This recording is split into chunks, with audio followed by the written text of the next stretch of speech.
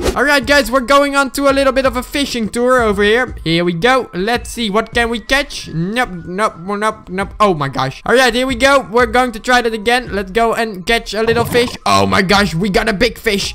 Get the fish over here. There we go. Alright, and into our fish basket. There we go. We already got the jackpot. This was the biggest fish out there. You know, we can eat three months from that fish. Alright, we dodged that one, but now we're still stuck. Ugh.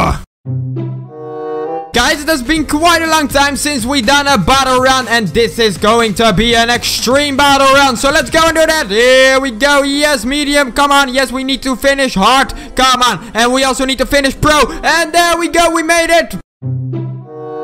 I have no idea what those are. Oh, a Zubat! The Zubat killed us. Let's just go and try to defeat all of those Pokemon. We defeated Pikachu. And we are also going to defeat that Loftis. There we go. Fuck you, Zubat. Fuck you, Zubat. Fuck you. If that Zubat is going to kill me one more time, I'm going to give up. Because I'm pretty done with being killed by that fucking Zubat. Alright, here we go. Here we go. Yes, fuck you, Wobbuffet. Yes, fuck you, Zubat. Oh my gosh, we actually defeated Zubat. Or didn't we? Oh my gosh, jump over this. No, for fuck's sake, I'm going to give up.